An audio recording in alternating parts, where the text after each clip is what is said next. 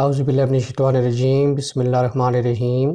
My dear students how are you I hope that you are fine dear students آج کا جو میرا video lecture ہونے جا رہا ہے، وہ فرسٹ ایئر انگلش کی جو پوئم نمبر فور ہے، اس کے اوپر ہونے جا رہا ہے۔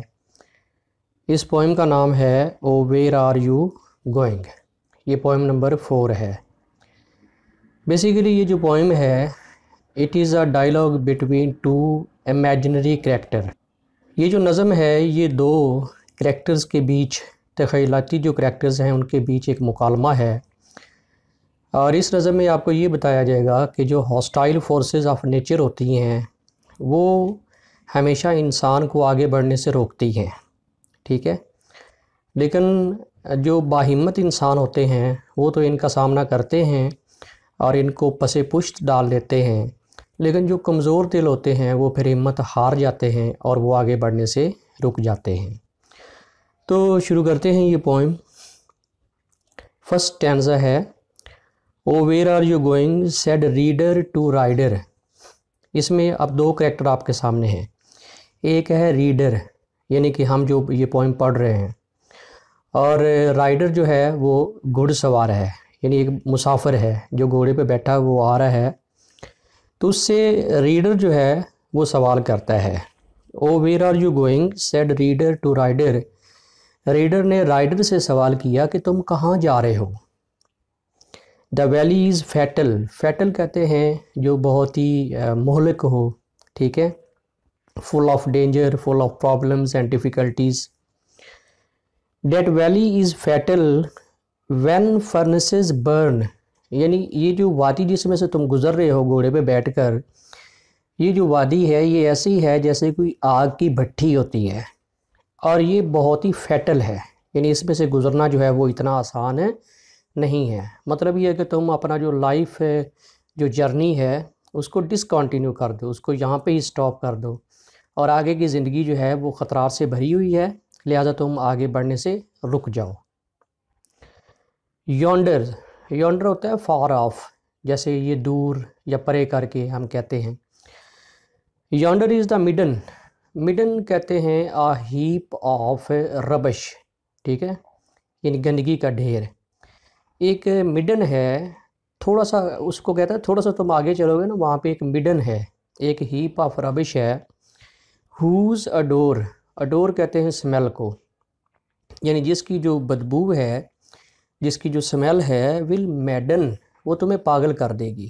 Yonder is the midden whose odours will madden یہاں تھوڑا سا آگے جا کے ایک ایک گندگی کا ڈھیر ہے یعنی جب تم اس کے پاس سے گزرو گے تو اتنی سمیل تمہیں آئے گی کہ وہ سمیل جو ہے وہ تمہیں پاگل کر دے گی۔ That gap is the grave where the tall return اور یہ جو آگے گڑا نظر آ رہا ہے، یہ جو آگے گیپ نظر آ رہا ہے یہ ایسے ہی ہے جیسے جسٹ لائک اے گریو ایک ایسی قبر، ٹھیک ہے نا؟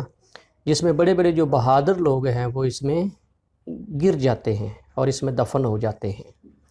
That gap is the grave with the tall return یعنی یہ جو آگے تمہیں گڑا نظر آ رہا ہے it is just like a grave tall کا مطلب یہاں پہ بہادر انسان جو ہوتے ہیں، بہادر لوگ ہوتے ہیں۔ یعنی یہاں پہ تو اس گڑے کو بڑے بڑے بہادروں نے کراس کرنے کی کوشش کی۔ لیکن الٹیمیٹلی وہ اس کا شکار ہو گئے، اس میں دفن ہو گئے۔ لہٰذا یہ ریڈر کہہ رہا ہے رائڈر سے کہ تم بہتر یہ ہے کہ تم آگے بڑھنے سے رک جاؤ۔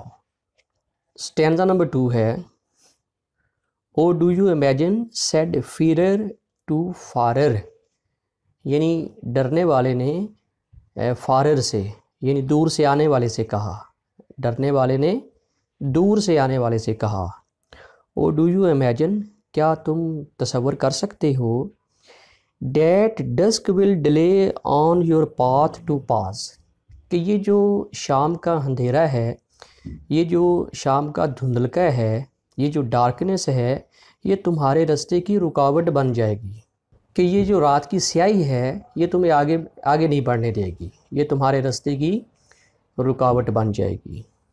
Your diligent looking discover the lacking اور تم شکل صورت سے جو اتنے ڈیلیجنٹ لگ رہے ہو۔ ڈیلیجنٹ کا مطلب ہے اتنے ذہین لگ رہے ہو انٹیلیجنٹ لگ رہے ہو بریو لگ رہے ہو ایکٹیو لگ رہے ہو۔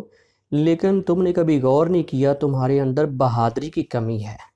جو تم اپنے بارے میں سوچ رہے ہو، ان سب چیزوں کی کمی ہے۔ لیکن کا مطلب ہوتا ہے کمی۔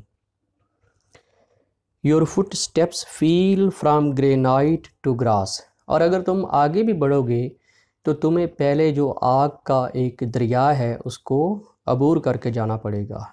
تب جا کے تمہارے کہیں کہیں دور جا کے تمہارے قدم جو ہیں، وہ گھاس کے اوپر پڑیں گے۔ پہلے تمہیں آگ کا یہ طوفان جو ہے، یہ جو دریا ہے، یہ جو گرینائٹ ہے، اس کو کراس کرنا پڑے گا۔ سٹینزا نمبر فور ہے۔ او، وٹ واز ڈیٹ برڈ؟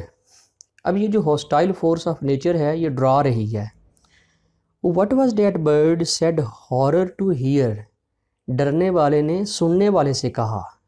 یہ جو درختوں کے بیچ میں پرندہ بیٹھا ہوا ہے، یہ کیا چیز ہے؟ Did you see that shape in the twisted trees اور یہ جو درختوں کی جو برانچز ایک دوسرے کے اندر پیوست ہیں، درختوں کی جو برانچز یعنی شاخیں ایک دوسرے کے اندر ٹوسٹڈ ہیں ان کے اندر یہ جو ایک عجیب سی شیپ بنی ہوئی ہے، پرندہ نما، یہ کیا چیز ہے؟ کیا تم نے کبھی اس کے اوپر غور کیا؟ Behind you swiftly the figure come softly اور جب تم تھوڑا سا آگے بڑھتے ہو تو ایک انجانے سا جو خوف ہے وہ تمہیں گھیر لیتا ہے۔ ٹھیک ہے نا؟ ایک فگر یعنی تم یعنی ایک انجانا سا خوف جو ہے وہ تمہارے پیچھے پیچھے چلتا ہے۔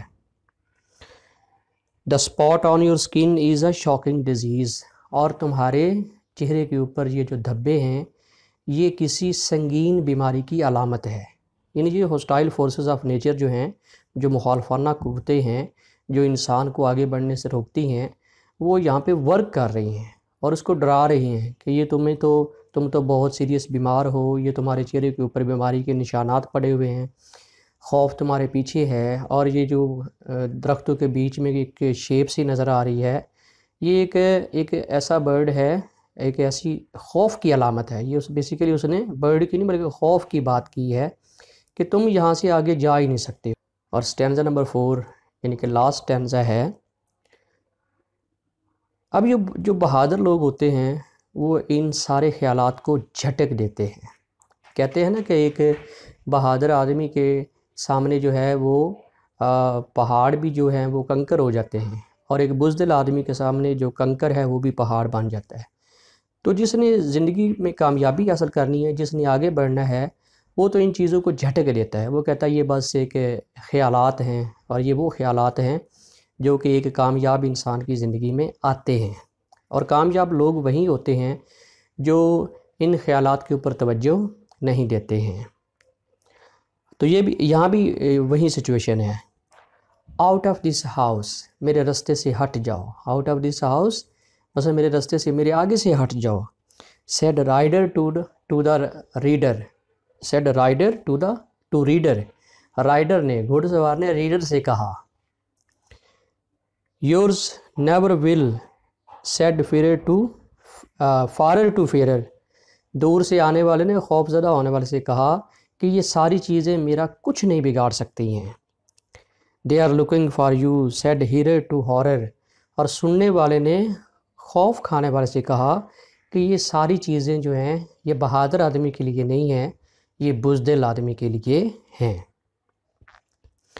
As he left them there as he left them there اور یہ کہہ کر یہ جو بہادر انسان ہے، یہ اپنی منزل کی طرف جو ہے وہ آگے گامزن ہو جاتا ہے۔ اور زندگی کا سفر جو ہے اس کو روا دوا رکھتا ہے اور اس طرح الٹیمیٹلی جو کامیابی ہے وہ اس کو ہی ملتی ہے۔ اس کے ساتھ ہی شاہد بٹی کو اجازت دیجیے اللہ حافظ۔